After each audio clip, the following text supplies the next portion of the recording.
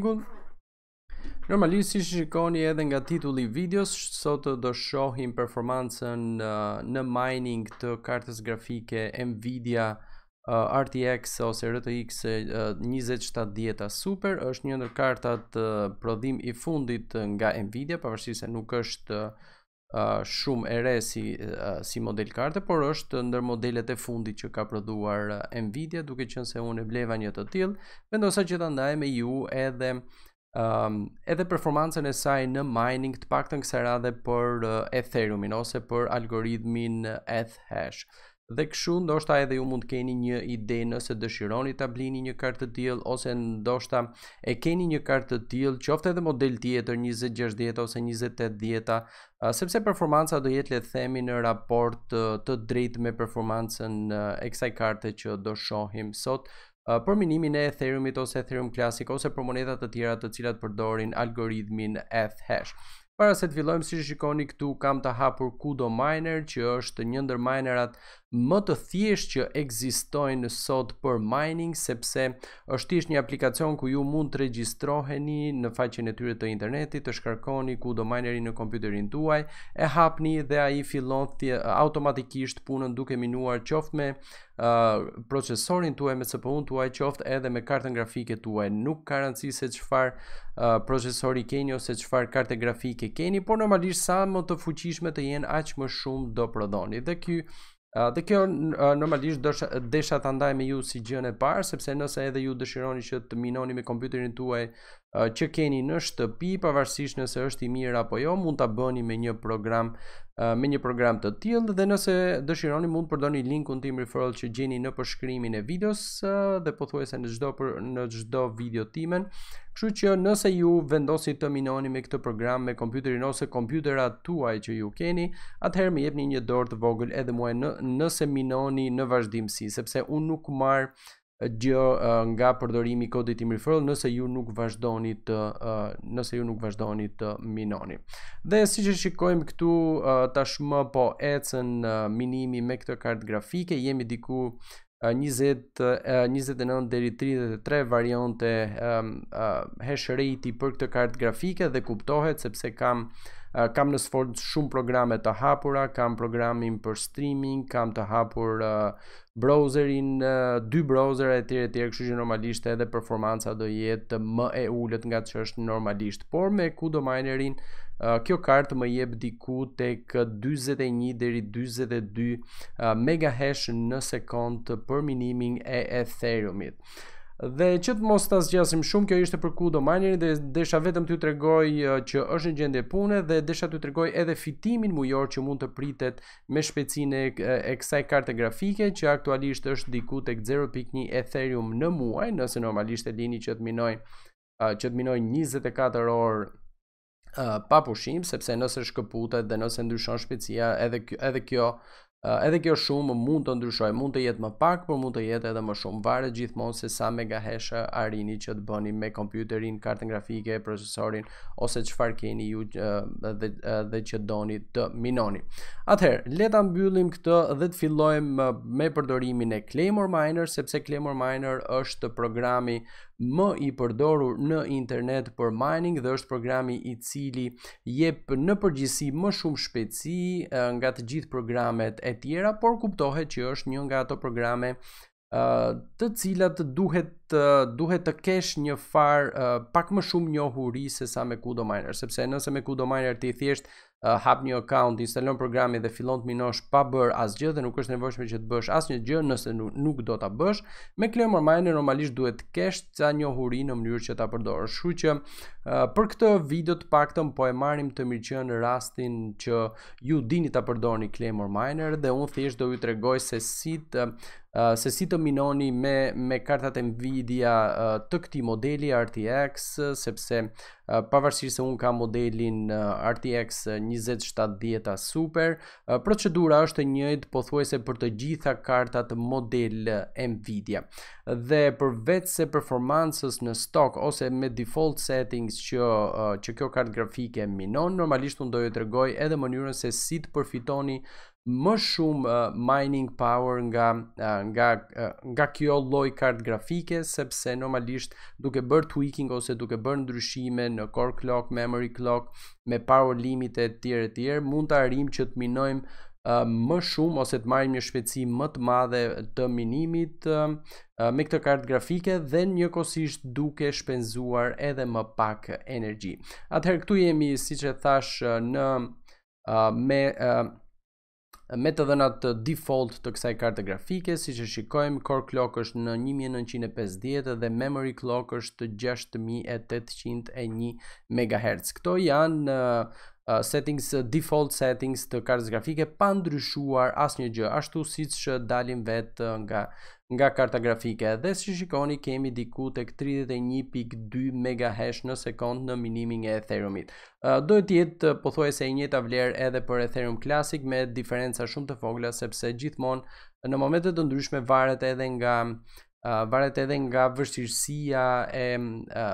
e, e minimit për një coin të caktuar. Kështu që për këtë rast do shohim vetëm Ethereumin dhe monedha të tjera që përdorin të njëjtin të njëjtin algoritëm. Tani, kjo është shpejtësia që kjo kartë arrin aktualisht në këtë gjendje, por po t'i mbyllim të gjitha programet që unë kam të hapura, shpejtësia normale është diku tek 36-37 megahash në sekond, sepse normalisht unë e kam provuar edhe pa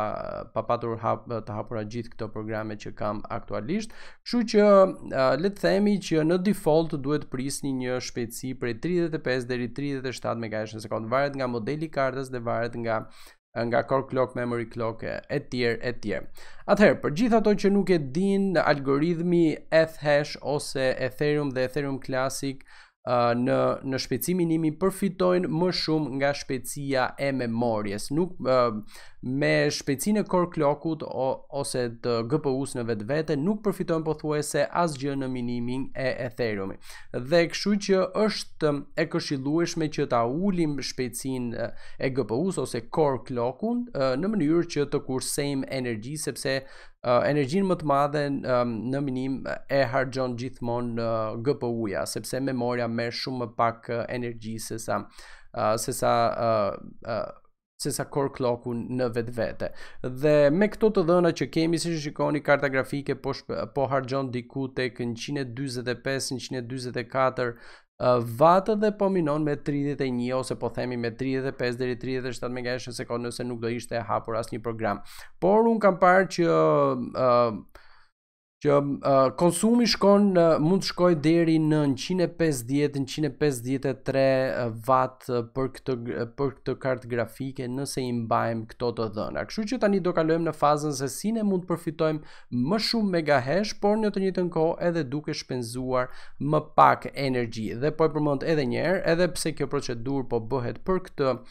kartë specifike është e njëjta procedurë pothuajse për të gjithë kartat e tjera Nvidia. Është e njëjta procedurë madje edhe për kartat AMD, vetëm se ndryshon mënyra se si futen vlera për kartat AMD, kurse për kartat Nvidia është pothuaj është jo pothuajse por jam i sigurt që është e njëjta procedurë. Dhe siç shikoni, uh, konsumi shkoi deri në 149, 150, siç u thashë, normalisht qëndron diku tek 153 me këto të dhëna që shikojmë, që shikojmë këtu, varet nga temperatura. Në momentin që temperatura kalon 60 gradë, atëherë ulet pak uh, core clock-u dhe kështu kemi uh, më pak shpejtësi minimi dhe më pak harxhim, normalisht. Atëherë, gjëja e parë që unë ju këshilloj të bëni nëse doni të bëni tweaking të mëtejshëm për në për kartën tuaj uh, Nvidia që ju keni, siç e përmenda, gjëja e parë është që të ulim core clock-un sepse për uh, Ethereum nuk është e nevojshme core clock-u. Ajo çfarë unë bëj është ta çoj çdo gjë në minimum, i japim apply dhe do shikojmë që core clock-u shkon nga 1900 bie në 1425. Dhe po të shikojmë, po të shikojmë këtu konsumin, Biem direkt në 140 tani 138, 137, po themi 140. Domethënë 10 deri 13 vat i kursyem vetëm me këtë me këtë procedurë. Tani, ajo çfarë unë ju këshilloj për çdo ndryshim që bëni këtu, bëni të gjith, të gjitha veç e veç. Domethënë, merru njëherë vetëm me core clock-un, pastaj me power limit, pastaj me memory clock e kështu me radhë. Mos bëni shumë lëvizje në të njëjtën kohë sepse nëse uh, kompjuteri juaj ose rigu juaj rezulton um, jo stabil, atëherë ju nuk mund ta dini se kush e dha këtë instabilitet, nëse e dha memoria, core clock-u apo power limit. Kështu që unë ju këshilloj që të t'i bëni lëvizje gjithmonë një nga një derisa të gjeni një fazë uh, le të themi një stat të stabil të kompjuterit ose të kartës tuaj grafike. Atëherë unë e di që karta ime e mban në minimum core clock-un, por mund të ndodhë që karta juaj nuk mund ta mbajë në minimum, do ju duhet që ta çoni çik më lart, po themi. Kështu që çdo gjë varet nga nga karta në kartë sepse kjo gjë mund të variojë. Pasi të keni përfunduar me core clock-un, atëherë bëjmë unlock këtyre lidhjes mes power limit dhe temp limit. Unë temperaturën mund dëshiroj ta mbaj tek 85 gradë, që do të thotë nëse temperatura arrin në 85 gradë, atëherë shpejtësia e faneve do rritet do rritet më shumë dhe nëse prap nuk bie temperatura, atëherë do ulet core clock-u akoma edhe më shumë në mënyrë që të mos kalohet mos kalohet temperatura 85 gradë. Ju mund ta përcaktoni sa të dëshironi temperaturën këtu.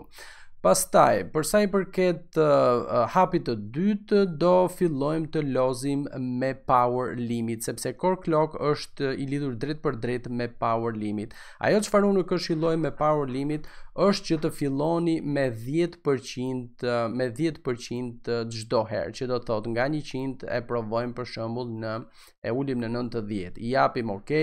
dhe shikojmë se si vete pastaj minimi. Unë ju këshilloj që të bëni një provë prej të paktën një ose dy orësh dhe shikoni nëse kompjuteri ose rigu juaj është stabël me këtë përqindje apo jo, sepse ajo çfarë bëjmë ne e limitojmë kartën grafike që të marrë uh, që të marrë energji, uh, uh, domethënë e limitojmë në 10%, që do të thotë karta mund të marrë energji vetëm 90% të kapacitetit maksimal që ajo ka. Nëse rezulton stabël, atëherë mund të shkoni në 80 në 80% i jepni ok dhe bëni përsëri të njëjtën gjë e provoni për një orë, dy orë, ndoshta edhe më shumë do ishte më mirë sa më gjatë, aq më mirë sepse kështu e kuptoni që rigu është stabël. Pastaj, nga 80-a e poshtë, nga ky moment ju këshilloj që të filloni të zbrisni me 5% çdo herë dhe pastaj të bëni një provë një orë, dy orë e kështu me radhë. Unë në kartën time e kam provuar normalisht, kështu që e di që pa, e mban power limit në minimum 58%, kështu që do i japim ok. Dhe tani do shikoni që poweri ose shpenzimi i energjisë të, të kartës grafike ra në 122, 125 watt, që do thotë ne kemi kursyer 30 watt nga nga core clock-u default default ku ishte në fillim. Kështu që kjo është një mënyrë shumë e mirë për të kursyer energji me kartat Nvidia. Kështu që bëni prova dhe gjeni minimumin që karta juaj mund të suportojë. Por ama normalisht nuk kemi përfunduar. Dhe po të shikojmë se harrova ta përmend, po të shikojmë edhe shpejtësia nuk është se ka rënë, pavarësisht se kemi ulur core clock-un në minimum, pavarësisht se kemi ulur power limitin në minimum mund të shohim që shpejtësia nuk ka ndryshuar, nuk ndryshon sepse siç e përmenda, Ethereum nuk është se përdor shumë GPU, por përdor më shumë memorien. Kështu që tani vjen hapi tjetër më i rëndësishëm që është overclocku i memories, i cili është edhe më i rëndësishmi, sepse është ai që do na japë më shumë shpejtësi. Dhe këtë gjë do e shohim live. Gjithsesi para se të vazhdojmë me memorien, dua ta përmend edhe këtë që ndoshta mund të ndodhë që Kompjuteri mund të pësojë një crash gjatë kësaj prove, kështu që ndoshta edhe mund të kemi një shkëputje, mos u mërzisni, por shpresoj që jo, sepse unë e kam provuar dhe nuk, nuk kam pësuar crash të paktën deri në këto momente. Dhe, për memorien, unë ju këshilloj këtë gjë, në fillim filloni me me 200 MHz çdo herë, që do thot plus 200 herën e parë, që do thot japim enter, që do thot do e shtojmë memorien me plus 200 MHz. Japim OK dhe do shikojmë që do do të marrim nga 6800 do marrim 7000 MHz në shpejtësinë e memories. Dhe tani të presim pak dhe të shikojmë se si do shkoj shpejtësia e minimit. Atëherë deri në këtë moment ishim në 31.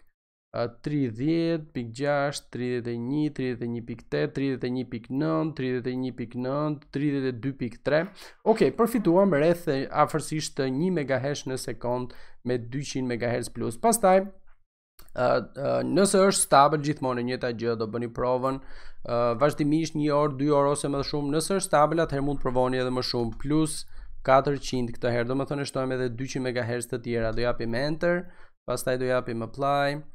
dhe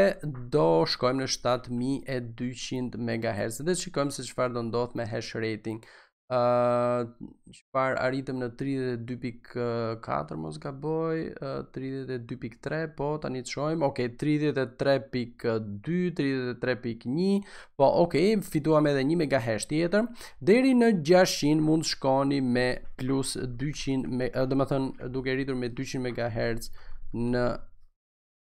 çdo herë që bëni provë, sepse kjo lloj memorie e mban plus 600, normalisht të paktën këto modele RTX e mbajnë plus 600, plus 600 memorien, ose le të themi më saktë, memorien reale në 7400 deri 7500 le të themi që e mbajnë pothuajse të gjitha kartat. Por gjithsesi është mirë që të shkoni shkallë shkallë në mënyrë që të jeni të sigurt që të mos hasni uh, instabilitet dhe mos uh, të rrezikoni që kompjuteri juaj të bëj crash. Atëherë, pas uh, pasi provoni edhe plus 600 ose 7400 MHz deri 7500 MHz dhe shikoni që rigu juaj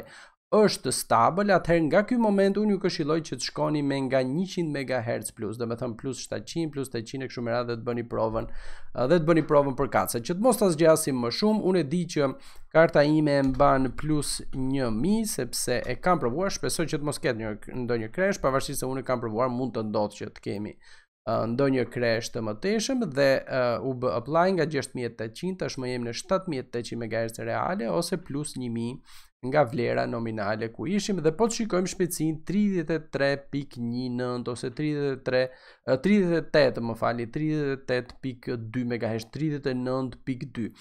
Dhe tani nuk kam se si t'jua tregoj, por po t'i mbyll të gjithë programet që un kam hapur dhe të lë vetëm Claymorin, atëherë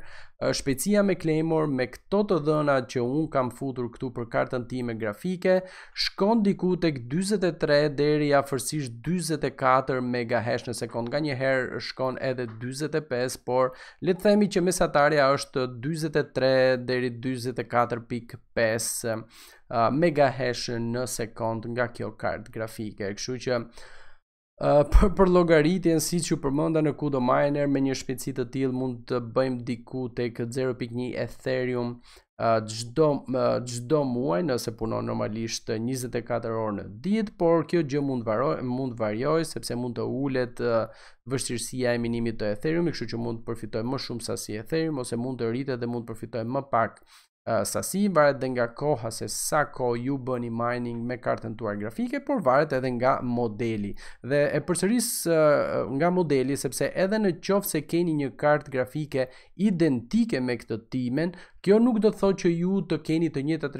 rezultate që kam unë. Mund të ndodhë që mund të keni rezultate pak më të ulëta, po mund të ndodhë që të keni rezultate edhe pak më të larta. është ajo që quhet në botën e teknologjisë Silicon Lottery ose lotaria e silikonit, që do të thotë varet se çfarë cilësie ju bi uh, ju bi çipi që i kartës që ju keni marrë. Mund të ndodhë që uh, ai si ai çip uh, ose ai silikon të jetë i cilësisë shumë të mirë, kështu që mund të keni rezultate shumë më të mira, ndoshta mund të merrni edhe 1200, 1400 MHz plus dhe ta mbajë pa problem. Uh, ndoshta mund të shkojë edhe me core clock më poshtë të kurseni më shumë energji, kështu që uh, siç e shikojmë nga le të themi nga momenti kur filluam në 29-30 megahash në sekond, tashmë jemi afër 39 megahash në sekond dhe nga 153 watt që shpenzonte në që harxhonte në fillim karta grafike, tashmë harxhon 122-123 watt, që do të thotë është e mundur që me një kartë grafike që ne posedojmë, është e mundur të plotësisht e mundur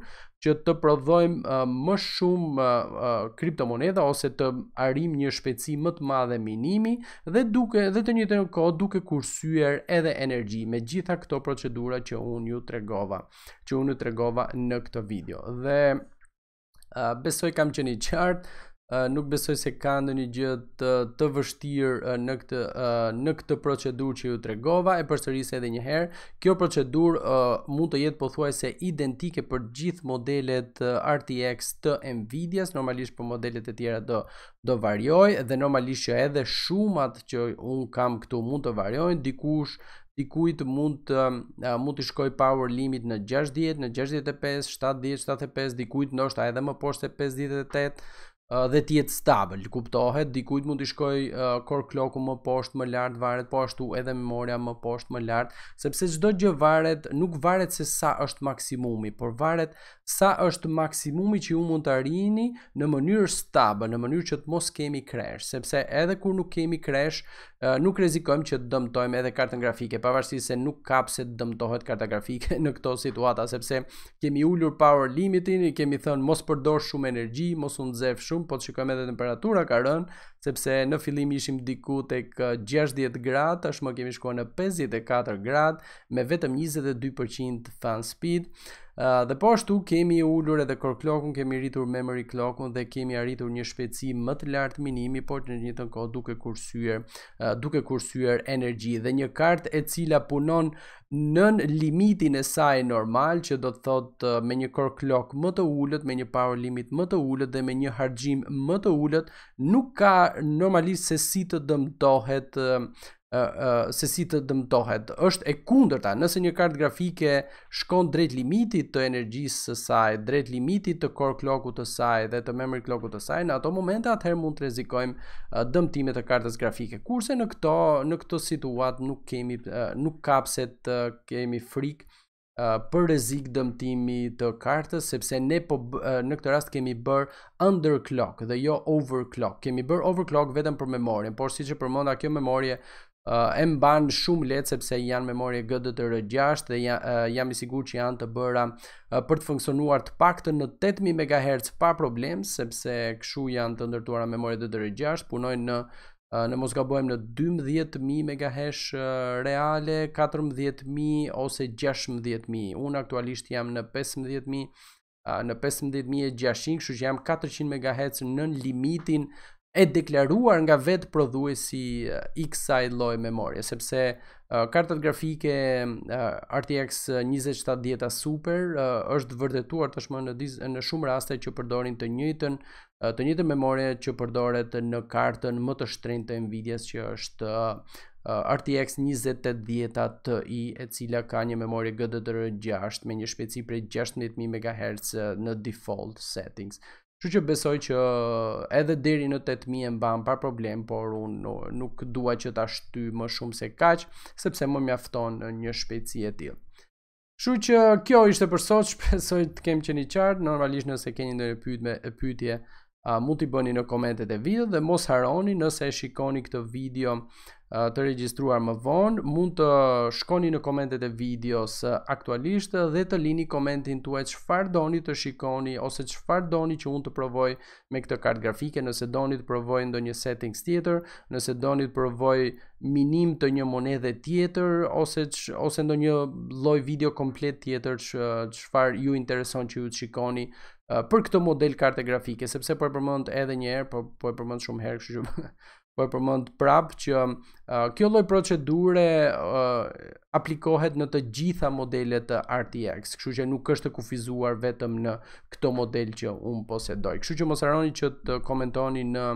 uh, në përshkrimin e videos, uh, në komentet e videos, më falni se çfarë dëshironi që të shikoni ose çfarë dëshironi që uh, çfarë prove tjetër dëshironi që unë të bëj me këtë kartë grafike,